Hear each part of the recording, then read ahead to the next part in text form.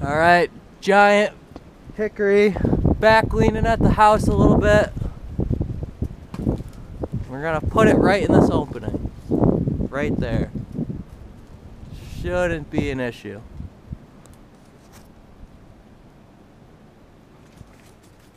Go ahead. There it is. Come on.